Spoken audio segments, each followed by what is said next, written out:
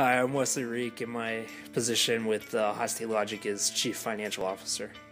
We're kind of like an active meets streetwear brand. I would kind of call it like a mix of Patagonia and Neff. If we were to fuse two large companies, that would be what we are. I handle all the business stuff. Like I do kind of marketing. I do like the taxes. I set up the LLC, things of that nature. Not everything that you learn in the classroom necessarily translates perfectly to a small company because I feel like a lot of things we learn in business classes are mainly for like large corporations. Things that you learn might work very well for a company like GE, but it's probably not going to work great for like a small company. I feel like it's I feel like it's the best way to learn. Like if you're trying to learn accounting, the best way to learn accounting is to do accounting, not to do like problems in the back of the book or anything. trying to kind of infiltrate some boutiques in uh, Chicago like a lot of I don't want to call them like hipster genres, but like hipsterish genres. We're kind of trying to infiltrate their stores and stuff.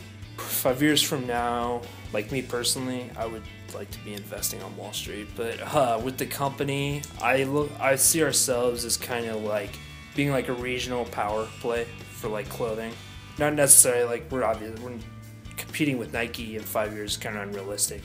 But like competing with some other local brands, like maybe leaders, I would love to like be not be leaders, but like be competitors with them.